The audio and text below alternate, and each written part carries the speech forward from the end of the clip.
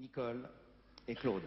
Claude qui va d'ailleurs nous dire, lui qui l'a bien connu, qui a eu la gentillesse de préfacer d'ailleurs le livre, qui est consacré à Mike, pourquoi Mac occupait-il une place à part dans ce show business, dans cette chanson, dans ce côté un peu cœur des foules, une place qui semble-t-il n'a jamais été euh, occupée à nouveau je crois d'abord parce qu'il devait avoir beaucoup de cœur et en tout cas que ça devait assez transpirer pour que les masses puissent suivre. Ensuite, très objectivement, c'est ce que je remarquais en le regardant sur un écran, parce qu'il est exceptionnellement beau et que ça attire, qu'on le veuille ou non, et que, d'après moi, de par le fait qu'il était beau, il attirait la convoitise, en général la jalousie et le fait de se replier sur lui-même, euh, le fait dans sa réussite aussi de provoquer des convoitises aussi, ça faisait qu'il se reprenait sur lui-même. Enfin, en tout cas, je l'ai connu comme cela. Je l'ai connu perdu, je l'ai vu une ou deux fois, pas assez souvent, mais il me semble assez souvent pour que je puisse le ressentir.